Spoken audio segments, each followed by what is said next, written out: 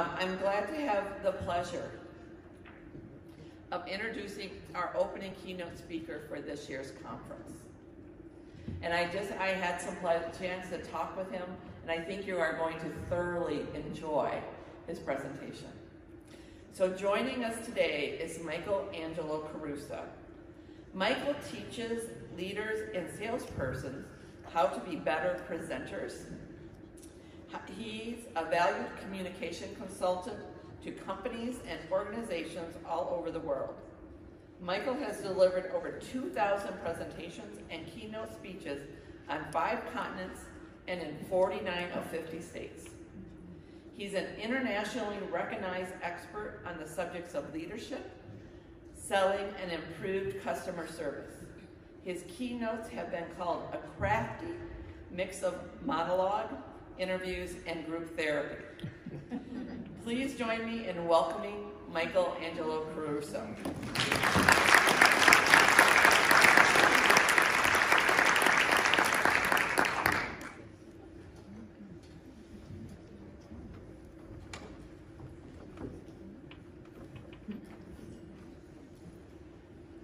I like to sit in the aisle seats on airplanes. You too? And often on airplanes, I play the same game you do. As people are getting on board, I, am trying to guess who's sitting next to Michael today. and a beautiful woman walked on the plane, walks, starts walking down the aisle, and I thought, I wonder if it's her. Nope. And then a large gentleman got on the plane, supersized guy. I thought, wonder if I'm sitting next to him today. Nope. And then I heard my seatmate before I saw him the reason I heard him is because he was talking on the cell phone. You've probably noticed people talk on cell phones a lot louder than they do in, with normal voice. Why do we do that? Anybody know? So I heard him approach my seat. He's talking to a child, apparently, and the child is being left home, left home, and daddy's traveling, so he's explaining to the son, you're nodding your head like you go through this yourself. Uh, he's explaining to his son why he's traveling. Uh, and then he stops at my row, and because he's talking to his son, he simply says to me, mm. which I take to mean I'm seated next to you. So I stand up to clear the way for him to get in. He's got an overhead that he shoves into the bin upstairs. He's got another bag that goes underneath, and I see the luggage tag on both of the items. I recognize the name of the company that he works at. I'm flying out of Detroit Metropolitan Airport. He apparently works in Michigan, so I see the luggage tags. Little information, okay, good. He sits down in the window seat, and I join him. And now he's talking to a second child that doesn't want to say goodbye to daddy. This continues. Now there's a third child screaming into the phone so loud, I can hear the kid. And daddy is just crestfallen. You know how dads get when, uh, when they get overwhelmed? They just shut down. And he's having trouble coping with this. And I just feel for the guy. You know, I don't have any children, but I feel for his situation. They finally announced that the boarding door is going to be closing, which is now going to force my new friend to actually hang up on one of his children. Again, some heads nodding in the room. You've been there. And uh, he says, look, honey, I gotta go, I gotta go, I gotta go. And, and the flight attendant forces him to hang up the phone, and and he puts the phone in his lap and he sighs as if the weight of the world is leaving his shoulders. And I turned to him and I said, Daddy's leaving home, huh? And he said to me, Oh, you were listening. and I said, How could I not? And he said, Yeah, my kids do not like it when I leave home. I said, How many children do you have? He says, Three. I said, How old are they? He said, Four, five, and seven. I said, Wow. What are their names? He said, well, we gave them S names. Sandy, Sally, and Scotty. Scotty's the oldest, and he was the one that was crying the loudest. I said, I can't imagine, man. It's tough. And you're flying for work? I noticed the name of your company on your bags. He said, yeah, I work for so-and-so, and uh, I travel a lot with them. I said, well, what's a lot? He said, I'm gone 15 to 17 days a month, and so I'm away from home a lot. And I said, well, oh my gosh. I said, that's that's a lot of travel. I said, um, what, what do you do that you have to travel so much? He said, well, I'm a sales manager and I have to go out and make sure my people are working a full day. And then he got a very strange expression on his face. You probably have experienced this when you're talking with people. He got kind of this ugly, strange, contorted look, and he says, he says to me, I'm sorry I didn't get your name. Now, he's not sorry he didn't get my name. He's sorry he's given a complete stranger so much personal information. and now it's time to play catch up. So he says, I'm sorry I didn't get your name. And I held out my hand first because I read a long time ago that the person who holds out their hand first has influence in any interaction. And I said, my name's Michael Angelo Caruso. He started shaking my hand and he said, Michael Angelo Caruso, that's a fantastic name. I said, I, I, he said to me, what do you do for a living?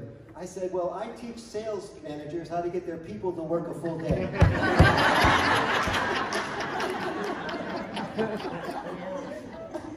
he says, can I have a card? And the lady in front of us says, I want one too. Did you like my opening story? Yeah. So we're here today to talk about first impressions and how they work. And um, I think you're going to really enjoy this presentation because I know that you meet a lot of people in your lives that are important to you. And I know that we're all kind of getting back into the swimming pool again, and it's time maybe for a little refresher course on this. And I want to thank Kara and Denise and Amber for being so nice to me on the way in. I, I, do have a really good program planned for you. It is educational, but I hope also to entertain you a little bit and, and get you to forget your troubles for a few minutes because you deserve it. Um, quick question before I get started. How many of you have met some people from the conference already? Hands up if you've met some people, other than the people you traveled with. Okay, excellent. Wow, look at all the hands. How many of you people have met 10 people or less? When I say meet, real conversations, shook their hand or fist bump, you actually got to know them for a few minutes. 10 or less, how many? Excellent. How many did 25 or less? 25 or less. So we, is that our threshold? 10? Conference just started. I know, it's okay. it's okay. So, and I hope you get to meet many, many more people uh, during the conference. But I, want I ask these questions not, not to judge, but to, because I'm fascinated with first impressions. I have been for a long, long time. And I study it. I mean, I've written about it. I, have got hundreds of YouTubes out there about speaking and what first impressions mean and how to make the most of them. And I, it's been my pleasure to teach thousands of people all over the place how to do it better. So if you're interested, um, I'm happy to help today. Most of us would like to do better with first impressions, but amazing first impressions require a special combination of circumstances. It helps to have some skill, would you agree? It helps to have some psychology and understand how it works. It helps to have a little bit of luck, and it also helps to have a sense of adventure. And by adventure, I mean risk taking, because putting yourself out there, even for one person, imagine doing it for a room of 250 or 300 people. But I know it's hard to do it in, a, in the coffee line with somebody you don't know. And so there is a, an element of risk and adventure because something could go wrong. Now, you could say, well, it's not wrong with a capital W, it's just a small little thing could go wrong. But it's interesting to me, we are less inclined, we are, we are less inclined to introduce ourselves to strangers, even at a conference, than we are to not introduce ourselves, or to introduce ourselves. And you can check this theory tomorrow morning. I, my experience is it gets better by day three. But on day one of the conference, we're strangers. On day three of the conference, you see somebody with a lanyard, they're your friend. So why are we different on day three than day one? Are we different people, or is our perception different? Do we feel safer? Is it less risky on day three? Let's talk about it. And let's also figure out how we can use first impressions in our day-to-day -day lives, even in what we're doing for work, that would improve our situation, bring richer relationships to us, maybe even introduce opportunities that wouldn't all be uncovered to us if we didn't put ourselves out there. What kind of risk am I talking about when I say we're avoiding first impressions more than we should? How about that street in your neighborhood that you always drive by, but never down? We all have a street like that in our neighborhood. That, that time everyone in your group went swimming except you because the hotel, uh, the hotel, because the uh, water was too cold. right? Risk. That casual friend that we have, uh, make a promise to have coffee with, but it never materializes. And that co-employee that you've worked with for seven years but haven't really got to know yet. Why not? A little background on where I come from, uh, and Denise, thank you for the nice introduction. Prior to all of that, I was in a touring rock band with my brothers for almost 10 years. So I spent my 20s on the road, opening for acts like Rick Springfield, Corey Hart, Joan Jett. Anybody know these names? Yeah. I'm speaking to audiences now that say, Joan who? and uh, we, our group featured, and we're on YouTube too, the Caruso Brothers, if you want to laugh go find them. But we played uh, a lot of pop music and we had uh, four-part harmonies. And harmonies are hard to sing, especially four-part. I don't know how much you know about music. And uh, we, we used to laugh and say to ourselves, the only way we're not going to hit any more wrong notes is if we stop singing altogether. Mm. Because trying to sing harmony is guaranteed risk. It's guaranteed bad notes. Again, we're talking about this risk-reward ratio. R, R, R. I'm going to reference it over and over and over again. And I'm going to I'm going to take you to a place with risk-reward ratio in your personal lives where hopefully at the end of my session you'll say, you know what, I can do this. I, I can do it. It is and it's my best interest to do it. And before we do that, we're going to talk a little bit about your industry because I know the risk-reward ratio in your industry in some cases speaks loudly, more loudly to you than what's going on in your personal lives. So I'll show you ways that you can whitewater this adventure of first impressions, even in an industry where you're communicating in. You're communicating with people who are often ill, fraught with emotion, and otherwise not themselves. I know you don't see people at their best sometimes, and that makes first impressions even more challenging. What is it like to be serving someone who doesn't want to see you?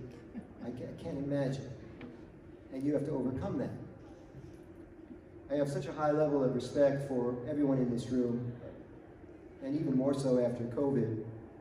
I know that you're, uh, I've gotten to know some of you as I prepared for this talk, and I know that you're passionate, dedicated people. You care deeply about what you do for a living. You care deeply about your fellow human beings. And I know that you work in a difficult, ever-changing industry. I don't know if you heard there was a pandemic. yeah, you'll read about it. Um, so I'm also aware that nurse practitioners in the big, you know, in the org chart of things, they get crap from above and below. I know you're in the middle. And so what I'm about to share with you will be very useful. So I want to begin our conversation today talking about two conditions that behavioral psychologists have identified. They're real and uh, they were new to me, so I'm assuming they're going to be new to you, but we're going to talk about them in terms that you can use them right now. You will use them on the way out of this room today. I promise you that. And the first term is called apophenia. Some of you, anybody know apophenia? Just curious. Apophenia happens when one of us, you, us, see two situations, right? And we perceive a connection between those two situations. But here's the catch there ain't no connection. You see two things happen and you assume they're related, and they're not. The other term is the opposite. It's called randomania. I got a kick out of that. Rando, like random. Randomania is the opposite. Two things are connected, and you can't tell.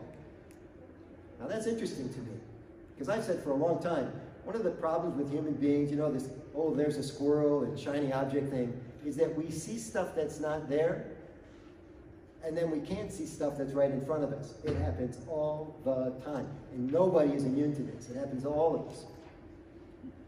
So, an example of apophenia, bringing it to our house today, is that we would go out to the reception and you would think about exercising something I just told you to do, which is go meet more people, man. And you see somebody outside, but they avert their glance right as you're moving toward them. And you assume, in apophenia, that because they, they averted their glance, therefore they don't care to meet you. You understand how that's unrelated, right? Why did they avert their glance? So they heard a noise on the other side of the room and they wanted to see what it was. Uh, they were moving away from you anyway, right at that moment. they're on their way to the cheese dip, whatever. It had nothing to do with you. They just averted their glance. And randomania is someone outside averts their glance and you miss that cue and you go meet them anyway and force yourselves on them, right? And we all do this. We miss, it's called reading the room and we miss it. Okay. Books have been written about this topic. Any Malcolm Gladwell fans in the room? Malcolm Gladwell, huge author. Thank you very much. So his second book, you want to check it out, is called Blink. And he talks about, in Blink, how human beings, rational people, make big decisions based on precious little intel.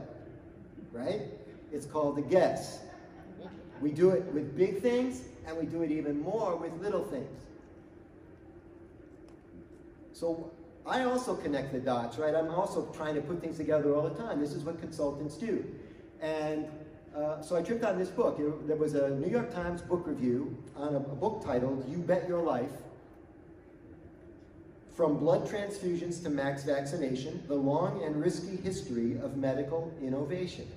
I read this book review while I'm preparing for this talk. You see how the, it jumped out at me because I'm getting ready to talk to a bunch of cool nurse practitioners. The author is Paul Offit. And what he's talking about essentially, ladies and gentlemen, is uh, risk in the medical field. So he, he takes an interesting tact. He starts with the Hippocratic Oath, which is, of course, first do no harm. And he begins by saying, well, that's not exactly true. We harm people all the time in medicine. Not on purpose, of course, but it happens. If we never harmed anybody, we'd never have any breakthroughs. All in favor say aye. I mean, it sounds like a terrible thing to say, but if we never harmed anybody, we'd never have some of the major breakthroughs that we celebrate today, the things that make our job so easy today. I want to talk about three of those things with you. The first one is anesthesia. Anesthesia has a very checkered past. In 1840, a carnival barker, this is where it starts, a carny in 1840 named Gardner Colton was charging 25 cents a hit for something called NO, or mm. what he called laughing gas. This was in 1840, everybody. Four years later, in 1844, a dentist by the name of Horace Wells attended the show, the carnival, and the next day became the first person to be administered NO because he had a fellow dentist give it to him for a procedure. And it worked. It also worked on Horace Wells' next 15 patients. He was so excited that he had this big medical breakthrough that he arranged a live demo at a place called Massachusetts General Hospital. They have a big theater there at the time. So he does this live demo and there's a big to-do about it, and it's a disaster, man. The NO does not work. The patient's wailing, the uh, audience is terrified. The, the press writes about it like it was a, you know, the worst spectacle ever. And Wells's reputation was ruined. That was in 1844. Two years later, a dentist by the name of William Morton demonstrated ether in the same theater with great success. He was so successful, it's actually now called the Ether Dome at Massachusetts Gen. The year after that, this is progress, right? But we're harming people at the same time. Risk, reward, ratio. In 1947, a Scottish doc named James Young Simpson experimented with something called chloroform. It was more potent than ether and didn't cause vomiting. Thumbs up. 15 years later, flash forward 15 years, and chloroform is still killing over 100 people a year in the United States. Terrible thing, but progress. So unfortunately, people were being harmed by various forms of anesthesia for decades while the health industry was figuring it out. And we wouldn't have these systems in place today without all that trial and error. So I'm taking you someplace here. I'm going to cover a few medical examples because you practice risk-reward ratio in your vocation. Can you learn to practice it more efficiently as a person. Let's talk about the tragic history of heart transplants, ladies and gentlemen. In 1964, the first heart transplant was performed by a Dr. James Hardy, who put a chimpanzee's heart into the chest of a guy named Boyd Rush. Mr. Rush died two days, sorry, two hours later. Three years later, famously, Dr. Christiaan Barnard, who studied him in school, transplanted the first human heart. The patient survived 18 days. And here's this Caruso guy connecting the dots again. I had the good fortune of interviewing a lady named Dean Roars. That's her first name, D-E-A-N. Dean was an early nurse practitioner who was invited to scrub in on the Barnard heart transplant. What the heck? Hmm. And I got the interview her on my podcast. This was a long time ago, before I knew I was going to be with you guys. So it's a fascinating story, a fascinating connection. The next year, 1968, because we think we're going to get into the heart plant, transplant business now, right? People are setting up companies and buying stock and all this kind of stuff in 1968. In 1968, 100 plus heart transplants were performed around the world, but half the patients died within a month and only 10% were alive two years later. Heart transplants were hard to figure out and the risk was just too great. Two years later, in 1970, you'd expect more heart transplants. There were only 16. So it was 100 plus around the world in 68. Now we're down to 16. And in 1971, only 17. Too much risk, not enough reward. You with me? Today, in your world, about 2,300 successful heart transplants are performed annually. You know this. And you're probably aware that 85 to 90% of this year's recipients are living at least one year after surgery with an annual death rate of about 4% thereafter. That's pretty good. It's not risk-free. We're still hurting people, but at pretty good odds. The three-year survival rate approaches 75%, and the average recipient survival time about 15 years. Holy crap, that's great. We bought people 15 years, it's fantastic. One more piece, and this one's relevant, can't have a conference without talking about vaccines. We celebrate a guy by the name of Jonas Salk, don't we? He was a hero. Inventor of one of the first polio vaccines, but in some cases his vaccine, as you know, probably caused polio in a lot of kids, temporarily paralyzing tens of thousands of children. Trying to help them, we hurt them. Risk, reward, ratio. And of course, one of the big debates during the COVID-19 pandemic, it was fascinating to me, and I'm not even in your field, so I know you were scratching your head, was, are the vaccines safe enough yet? There are people in this room that haven't decided. And it's okay. It's a personal choice. There were endless discussions about the effectiveness of various vaccines and what percentage was good enough for the FDA to approve and good enough for you to approve for your kids. It turns out, of course, none of the vaccines were ever 100% effective, which means there was always an element of risk. Always, and probably so moving forward. There were lots of risky business in the early days of medicine, including antibiotics, x-ray, and of course, chemotherapy. So what's the moral? What did we learn from the Offit book that we can apply in first impressions, in the hallway, at the conference? Well, first of all, in medicine, we achieve progress in fits and starts. It's kind of how it is with relationships, too. Everybody you meet is not going to be your new BFF. There are going to be some flat tires out there. Not in this room, of course. Tragedies cannot be prevented no matter how many regulations are put in place. We learn over time and can only hope to manage the risk. You with me? But here's Offit's biggest point, and this is most interesting to me because it brings it home to us right now in terms of first impression and meeting people and developing relationships here in real time, is that he says we have something in our sensitive world today called precautionary principle. And the precautionary principle says we, we give favor to a high degree of risk aversion. A much higher degree maybe than we should. So the very, very trait that restrain, restrains progress in medicine and communication, we would apply in our personal lives. We would say, we're not going to take any risk. We don't want any forward motion. I'm not going to put myself out there and try to talk to 10 people tonight at the reception. It's too uncomfortable for me. Not going to do it.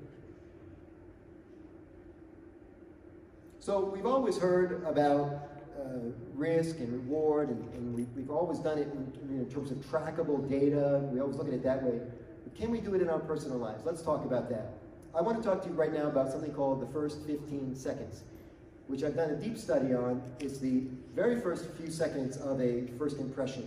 So when you meet somebody for the first time, and by the way, if you work with somebody and you see them every two or three days, you have a first impression every time you meet them, every time you see them. Right? Is he in a good mood today? Did she get some sleep last night? Is, uh, is she over that thing she was talking about last week? Whatever. Right? What, you know, which, which Rick am I getting today? You know, get that with some people. So let's think about these specific opportunities where we can make more from first impressions. Um, think about um, think about this. How many times now have you met somebody and they put a video camera on you, the camera phone? How, how many of you have this experience where you're having a first impression and you're on camera? Do you do that? Do people do it with you? No? Because that's like that's like performance art, man. That's pressure. As if first impressions aren't hard enough. How about this? Remembering names. How many of you would like to be better at remembering names? Hands up. Yeah, it's a big one, right? And you know, the, the uh, secret word, everybody's favorite word, is their own name. So to the extent that you can do this, you get better at first impressions automatically. And yet there are people in this room that have been around, around for several decades, and still haven't gotten the whole remember names things down. I'm going to help you with that. I have a technique for you. You'll find it very, very useful. We'll do it in Q&A. Is that okay? I'll move it up. Um, and also being the first person to reach out, which I talked about earlier. Now, I don't know if we're shaking hands at this conference. It doesn't really matter. When I say reach out, I mean initiate the interaction, right? I had a, a chance to meet somebody who turns out to be from our town in Rochester today. And uh, I happened to be walking by her table and I reached out, I think first, and I said, how are you? And I, I can't remember what I said. What was the line? Oh, you asked. You're early or something. You did say that. Yeah, you're early. Yeah, you made it I mean, it's nothing line, right? Nothing. Mm-hmm. I could have said, you look nice today. Thank you for coming. I could have said, where are you from? I just happened to say, you're early. And now she's seated at, seated at our table. You see how this works? She was over there. Mm. You could have met her. Maybe later. All right, so initiating that hello, and an old early trick of mine that I do all the time, but it's easier said than done, I promise you, is I'm in a buffet line and I introduce myself to the person behind me. And when I do this, we're talking in regular voices. Eventually, this person turns around to see what's going on behind me. And I, that's when I meet that person. And I meet people in the buffet line. And I know this is unusual. and you're already backing up, man. I don't want to meet people. I just washed my hands, Michael. How about first impressions on Zoom, which you're going to be doing for a while? Or in email, or on social media, or in text. You want to set somebody back on their heels in a text when they send you an email, a text first thing in the morning and it's really cold and direct? Text back, good morning. Good morning. And then wait. It's almost like it's Pavlovian, you know. You owe them an answer, but you're not going to give it until they say good morning to you. And it resets the playing field, man. Right? It's the great equalizer, etiquette. Don't let people take you to some place where you're not comfortable. Good morning. Okay. And then, of course, being the first one to speak up in a group meeting or Q&A segment. Uh, having done so many presentations, Denise, Yes. I can promise you, nobody wants to ask the first question at Q&A. Do we have any speakers in the room? Anybody that does presentations? Probably a few. Have you done Q&A and, and it's time for Q&A, but everybody sits there and nobody wants to ask? You want a trick for that? You ask the first question. Yeah, I know. It's a, it's a human trait, right? The audience doesn't want to be the first.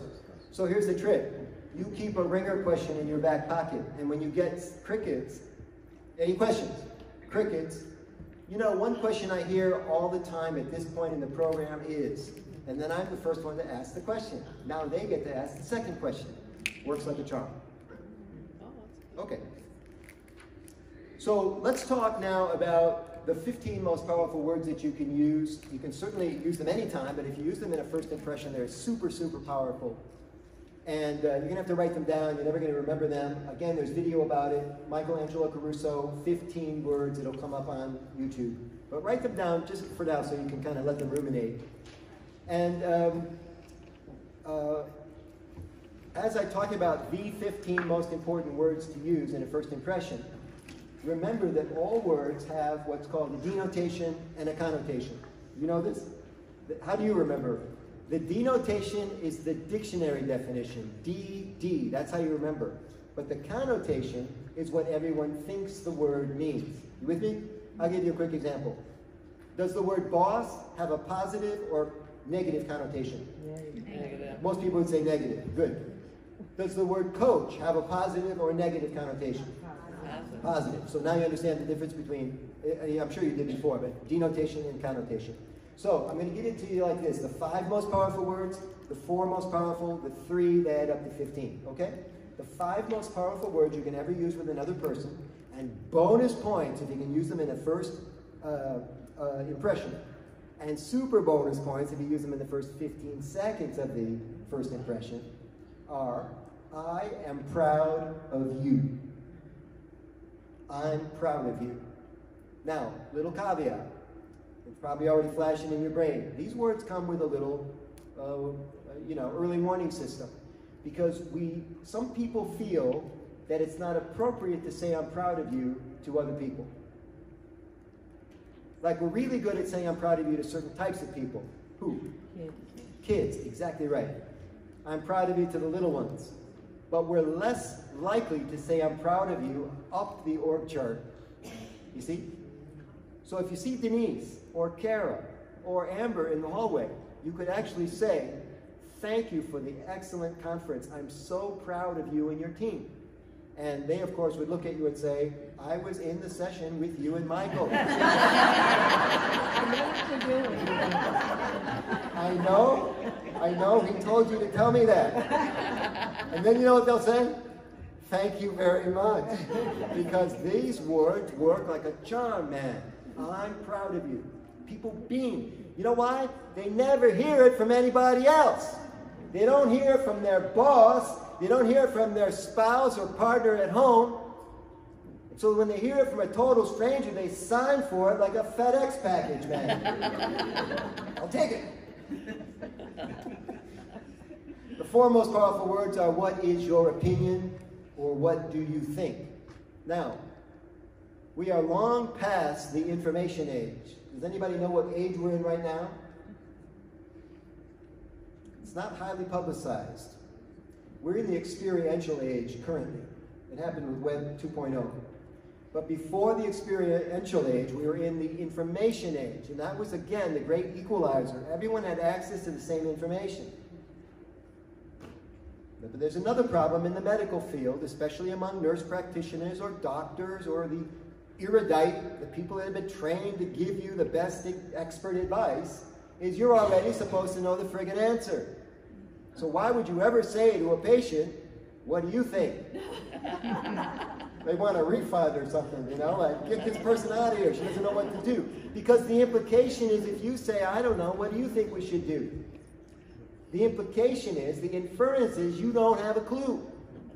And so you'll be reluctant. It's risky for you to say it. But I can promise you, everyone likes to be asked their opinion. Everybody wants to, and if you can't ask, what do you think? You could say, uh, what is your opinion? We do it with other things, you know, which feels best to you? Either or. Give people choices and it, and it empowers them. You know this, right? It's the oldest sales trick in the book. Choices. So what is your opinion or uh, what do you think? Uh, what is your opinion is four words. The three most powerful words are will you please? There's the etiquette thing again. The two most powerful words are what? Thank, Thank you, excellent. And the single most powerful word you already know that you can ever use with another person is that person's name. Now, in your business, and even this weekend, we've got some cheat sheets for you. They're called lanyards. And people are wearing their favorite word on their person. See if you can find it and use it. Now, there's other deep water here. Here's back to the risk again. Names are exotic these days. Let's just take the two people closest to me. What is your first name, please? Deborah. Oh, Deborah? I thought I saw something else. Oh, it's Deb. That's not even Oh, exotic at all. Deb. First, first name? Alicia. Alicia, and it's spelled, I didn't want to know. Yeah, no. Other exotic names in the room, shout them out. Who's got an unusual name? What is it? God bless you. Other exotic names in the room, I love it. They're all beautiful. What else? Come on, I know you've got them. If the person won't give it up, give up the person next to you. Huh? What is it? Georgia. Georgia, love it, love it. And we're seeing unique spellings of names now, which sometimes make them hard to pronounce. It's all good, ladies and gentlemen. Guess what? When somebody's got an unusual name and it forces you to dwell on it, they like that. That's special. It's special. So revel in it. Revel in the fact I can't quite pronounce your name. It's the first time I've seen it. I love it. What is it? And they go, oh, it's watch, watch their hand. They go, well, it's you know. my mother gave it to me. And she named me after my aunt, you know. And the story comes out, you know, all because you were risked not knowing how to pronounce it. I've done it a million times, and it doesn't always go well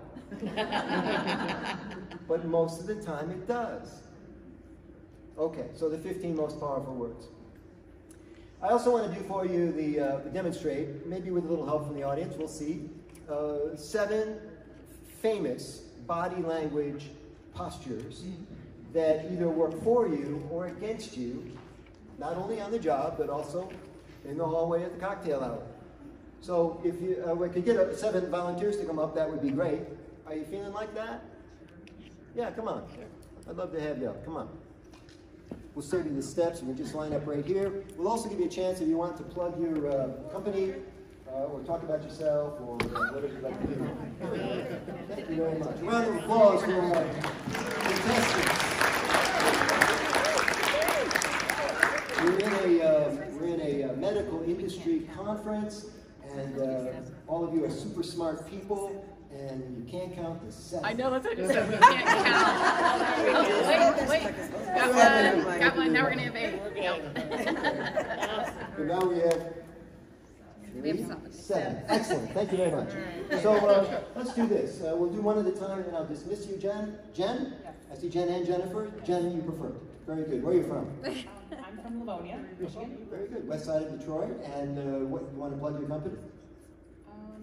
For the University of Detroit Mercy. Thank you very much. And um, so uh, we're going to talk about uh, the seven body language positions. You understand body language is important. Do you ever do you ever make guesses about people based on how they're standing or? Oh, yeah. Yes. Judgment though is risky, right? We don't want to judge people too much, but sometimes we're getting clues. Yes. Okay, so we're kind of in that space. So if if we would, uh, Jen, I'd like you to stand with your hands behind your back. Very good. And this position, ladies and gentlemen, is called parade rest. I know that one of your sponsors was it Air Force. Yeah. Uh, so this is, comes from the military, parade rest, and it's a, I told you all of the body language positions have a, a connotation. This is a passive position. So if you're having trouble with a client or patient, this is not the position to use, right? This is passive. This says, eat me. I'm weak. Come, come get me. So you never want to do that. Thank you very much. A round of applause for Jen. Oh, I did. Oh, your last name is Elamine. Beautiful. All right, thank you. Where do you work, Dave? I work for Johnson and Johnson. I exhibit. All right, welcome. Thank It's you. so nice. I always like it when the exhibitors attend the general sessions. I'm a nurse as well, so I decided I'd come in and listen. Very I heard good. you were very funny, and Ally spoke highly of you. Well, thank you very much. I'm glad you're. Nice to meet you. So um, let's talk about another body language position Yes. for you. Uh, how about hands across the chest? Do you ever do that? I do. Yeah, some of I think we all do it on occasion. Yeah. And this body language position is called attitude. now, of the three styles, assertive, aggressive, or passive, which one does it seem like it could be? Aggressive. Yeah, it could be aggressive. And it's often perceived that way by other people. So if you're with patients and you're trying to develop a, a trust relationship, this is probably not the, the pose you want to strike. And I know you know that. That's an obvious decision. A round of appla- of applause for Deb. How are you, Kimberly? Where are you from? St. Joseph, Michigan. Very good. You were the first person to volunteer, I think. Thank you very much. Yep. You're like an early adopter. Are you a person that reaches out first often? Are you the person that says, I'm ready, let's go? I think so. Yeah, it's, you demonstrated it when you said, I'm coming up, right? Okay, so that's cool. Um, so we need a body language position for you. Do you have pockets in your pants? Well, that's good. Sweater, good. So the hands in the pockets, not usually a female thing, it's usually a male thing, often accompanied by motion and sound. Do it with me. Oh, honey. Yeah. And what, what signal do you get from this? She's like, I gotta go. to. All right, good. Anxious, nervous, uh, not settled in. Uh, and if you're like that all the time, well, how do you make the people around you, right? There was a guy by the name of Jim Rohn who said that we become like the five people we spend the most time with. And I think that's true. We become like the five people we spend the most time with. Some of you are looking at the person next to you.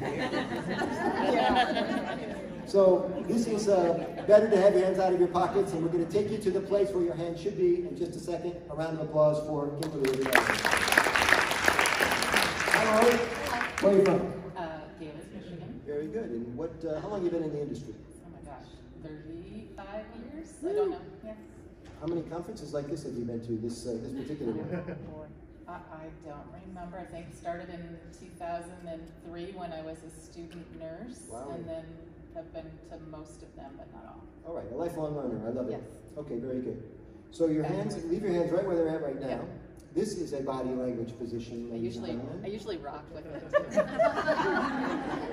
Okay, stand still for just a second. 200 people in the room and I get the thespian. so this, this body language position is called the fig leaf. And behavioral psychologists say it, uh, it's often perceived as that that person has something to hide or it's a cover up of some sort. no, no, not like that.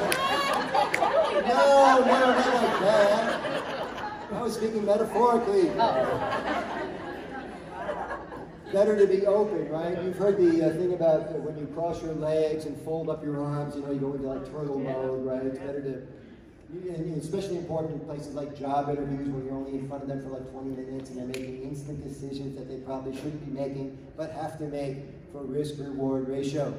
Very good. Don't do the fig leaf, Lori. Well, so then I go into the- yeah. Thank you very much. Round of applause for Lori. You have an exotic name, Mary Lee, Yeah. and it's and it's all one word. Yes. If people call you Mary, do you get upset? Yes. I would too. Mary Lee. What's your middle name? Wait. It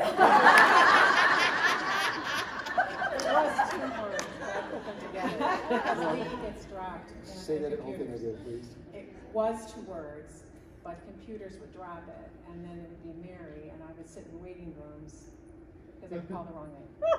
I'm gonna need more time. Okay. I hadn't counted on all of this. Yeah. Thank you. Mary Lee. It's good to see you. So we've covered a few of the uh, body language positions. I want to move now to, um, let's do this one. So, um, hand, one hand to your chin like this. You can tuck it under an arm like this. Yeah. It's called the thinker pose. You know this? The thinker pose is based on Rodin's statue. The thinker? Yeah. Yeah. And uh, I can tell you this, of all the poses I've shown you so far, this is by far the most effective. Because when you do thinker pose, when somebody's talking to you, you send them a signal that they are the most fascinating person you have ever met. Oh. I use this pose when people are telling me stuff I already know. I use it when they tell me stuff I've heard a million times that day. I said, really? And I'm not faking it. I do think they're very interesting people, but they're not sharing particularly valuable information. And then they mean even more. He likes me, which I do. Which I do. The thinker pose. You can use that. Okay, yep. All right, good. Why are you doing that? Thinking you can. You're doing it too. Yeah, your resting pose. Okay, very good. I like that. I know. Uh, I'm running out of poses, man. I gotta come up with something now. Let's see. Oh, that's it. That's it. Hands on hips. Both of them. Power pose. Chest out. This is like Superman. Superwoman. Superhero. Yeah, it's aggressive. She said we're really pissed. Uh, and this is half a Superman. That usually gets a laugh. Aggressive, on hips, right? We do it with uh, kids. We do it with a dog that's destroyed a roll of toilet paper. Doing it with people, probably asking for a, some sort of a scrabble with them. Yeah, okay. Thank you very much, Mary. Hey, where you from? Muskegon. Did you tell me that already? What company? I am a private pediatrician. I retired to take care of my granddaughter. Congratulations. Other than Pete. Man. We save the best for last. Jerry Lynn. Hi, Jerry. Where do you work? Um, I work, well, I have a couple of jobs. I work for Spectrum, Spectrum Health, and I'm, uh, also work for a university, Spectrum's KZoo? uh, Grand Rapids. Grand Rapids, okay. And uh, you having a good time so far? Yeah, How many people have you met so far? um, maybe seven? Okay, not bad. We're going to up that number in a few minutes with in the reception, okay? Okay. All right, very good. So for our final seventh body language position, I just want you to drop your hands at your side. I noticed they're behind your back because that must be a, either a resting position or comfortable for you, yes? Yeah. Okay, now at your side, how do you feel now? Awkward, Yeah, why does it feel awkward? because I don't know where to put my hands. Yeah. And I talk with my hands, so if I'm not talking, it's weird for them to be on my side. Okay. How do, let's, let's get another opinion, do you mind? Yeah, no. Let's get 200 more opinions. How does she look with her hands at her side? Awkward or natural? Natural. You're outvoted. this is the most natural position of all. And I'll tell you something else. If you're trying to build a relationship with somebody and they're telling you important stuff, you want to hold the pen and you want to write down what they say. I know you do that anyway when you chart, but I do it. I'm not a nurse practitioner. I, I write down what people say all the time. Let me write that down. That's good. They give me a book to read. Let me write that down. Movie to see. Let me write that down. It helps people feel important, ladies and gentlemen, and we can't do that enough. Thank you very much. A round of applause for all of our contestants. Okay, we are wrapping up. I hope you've enjoyed the presentation. We are going, I hope you've enjoyed the presentation.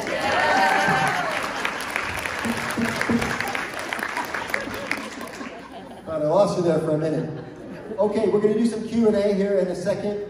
Um, and I promised you I was going to teach you how to remember names. You still interested in that? Yeah. Okay. So the technique is called cluster imprinting. And what's cool about this is it's uh, this is called what they call in manufacturing just-in-time delivery, JIT. Because I'm going to tell you how to do it. You're going to walk out that door and do it. We have a deal? Okay. And you're all going to have fun with this because you, you're going to everybody understands you're going to be using the strategy on them. Okay. So uh, it's called cluster imprinting, and it works like this. When somebody tells you their name, the reason you don't remember it is not a memory issue, uh, or it's not a it's not a listening issue, right? You heard it, but you can't remember it. And why can't you remember it? Because you your brain is jumbling a bunch of signals at the same time. Perfume, the color they're wearing. Do you like them or not like them? Who else are they standing with? Who did you just talk to? I've got a small plate and a cocktail and a napkin in my hand. This is a dance by itself. A lot of stuff going on. So they say my name is and you, it's lost to the ages, right? Now the problem is, it's a little bit hard for you to go back to that well and say, I'm sorry, can you tell me your name again? That's risky because now they think you're an idiot. So what do we do? We don't use their name the rest of the conversation. Good strategy. so let's let's put our big girl pants on, and our big boy pants on, and let's put ourselves out there and let's say, I know you just probably told me your name a minute ago, but your lanyard's back, you're backwards. Can you tell it to me one more time? And now I'm going to show you the technique to make sure it sticks. Cluster imprinting. Let's say the lady's name is Kathleen. So we're going to count how many times cluster imprinted, right? I'm going to cluster her names to my brain. Let's count how many times I can get Kathleen's name to my brain in just a few seconds. I say, what is your name, please? Forget about the lanyard. I say, what is your name, please? She says, my name is Kathleen. That's once. I say, Kathleen, what a fantastic name. Nice to meet you, Kathleen. Is that Kathleen with a K or Kathleen with a C? Look at that, five times. Five times. And I'm just getting started. She doesn't, more importantly, she doesn't think anything of it. It's completely transparent to her, right? She says it's because she gets asked all the time, Kathleen with a K or a C. The front desk messed that up with her two hours ago. So she says, it's Kathleen with a K. Six. I said, Kathleen with a K, it is. Nice to meet you. And I'm speaking with Renee, right? And I say, uh, Kathleen, have you met Renee? Renee, Kathleen. Nine times now, right? Boo, boo, boo. And what do I say to Kathleen before I excuse myself? Nice to meet you, Kathleen. What's that, 10 times? I am never going to forget Kathleen's name. And now, neither will you. I want you to use that technique outside. We'll have some fun with it. I'll be out there with you, listening, encouraging you. Is that okay? All right. Any other questions from the audience? And I know you're ready for cocktails. questions about anything we talked about? Did I leave you in any lurch anywhere? Did you miss something? Yes, ma'am.